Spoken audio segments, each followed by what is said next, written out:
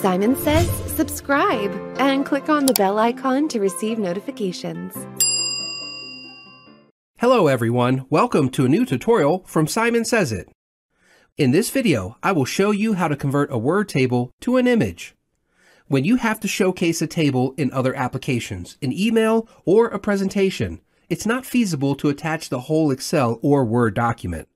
In such cases, you can easily convert the table to an image and save it to your local drive.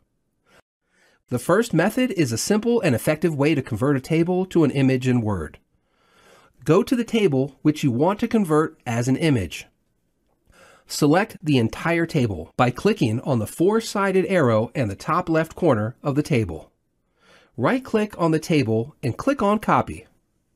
Now, Open a new Word document or place the cursor in another place in the same document where you want to insert the image. Right-click on the destination and select the Paste Special option, Picture You. This will paste the table as an image in the destination. You can see that when you paste the table as an image in Word, you cannot modify or edit it like a table. Now, right-click on the table which is pasted as an image and select Save as Picture. This opens the Save as Picture dialog box. Choose the destination to save the file and rename the image if necessary. From the Save As Type dropdown, choose the format of the image. Select the file format and click Save. This saves the table as an image in the desired location there's another easy way to convert a Word table to an image. You can use the built-in snipping tool to carve the table out and convert it to an image.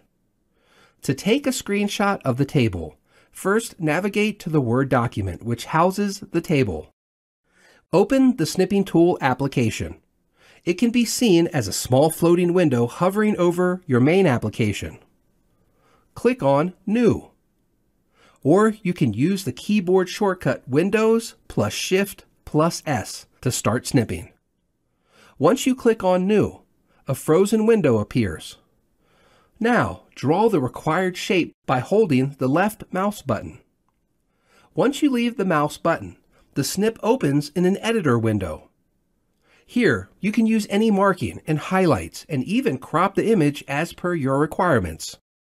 To save the image, click on the Save button. This in turn opens a Save As dialog box. Rename the file, choose the location and the format of the file, and click on Save. This saves the table as an image in the selected destination. Converting a Word table to an image has advantages of its own. In this video, we saw two easy ways to save a Word table as an image both methods are useful and you can use them depending on your preference. Thank you.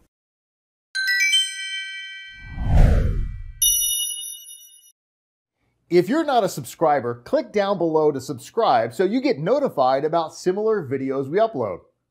To see the full blog article that this video came from, please click over there. And click over there to see more videos from Simon Sez IT.